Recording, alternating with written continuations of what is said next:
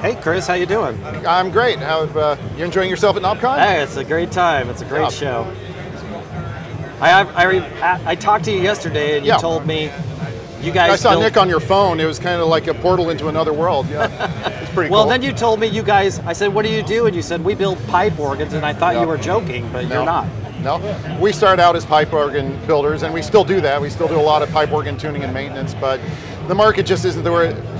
The market isn't there the way it used to be, and so we're branching out into some synthesizer work. I've always loved electronic music, and uh, like, why not? Let's just try our hand at this. So, what do you what do you got at KnobCon today? Okay, well, so um, we're answering the question of if anybody wants polyphony.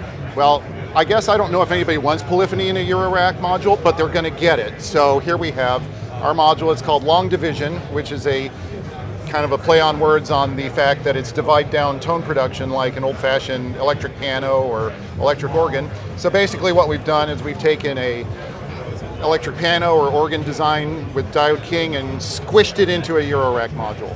So as far as we know, this is the only Eurorack module that has complete polyphony. You can't outrun the thing. You've got it all broken out here.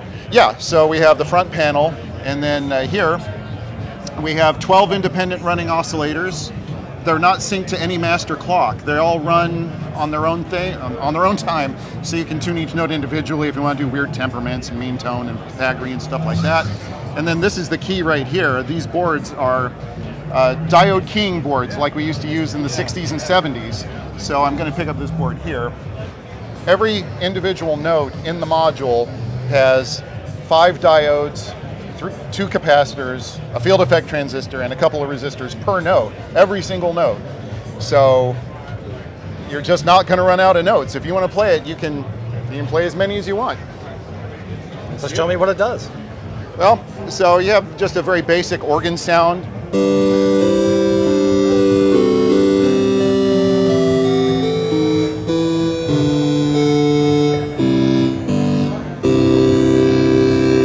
It also has a piano mode, so we can have the percussive attack and we can take the tone and turn it down, turn the release time up.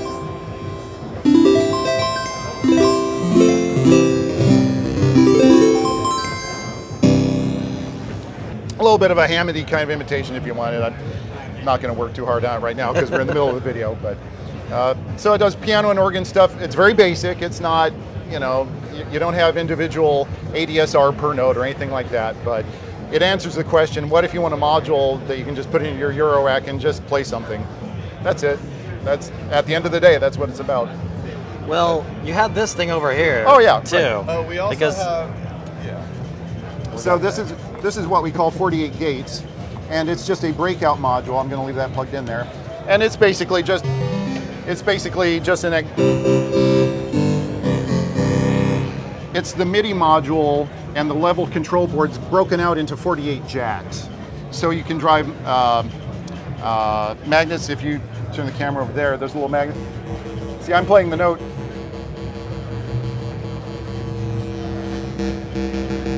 So you can hook up your solenoids or lights or switches or relays, what have you, or you can just do a little light show like that, whatever you like. So it's just 48 separate outputs. Or one thing that's fun to do is to simply run a real quick 48 note sequence of 1 to 48 over and over really fast and just plug in your drum triggers in random spots and it becomes a pattern generator. It's very simple, not sophisticated, but a lot of fun. A lot of fun to play with. I want to see your light show. Okay, hold on a minute. So you're actually con- going to control it with this uh, yes, with iPad, this iPad sequencer. So here we go.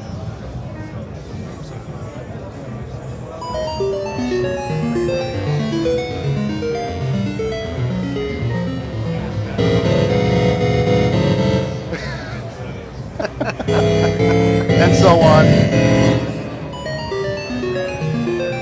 And then it repeats. So that, Yeah. yeah. And you have it over Okay, here in a, yeah. So part of the fun of this is that sequencing, you can do as many notes as you can handle. And so here we have a KeyStep Pro, which we programmed in just a fun little, is it playing? Yeah. Yeah, so every step of the sequence has have as many notes as you want to load into it. So we loaded in this sequence.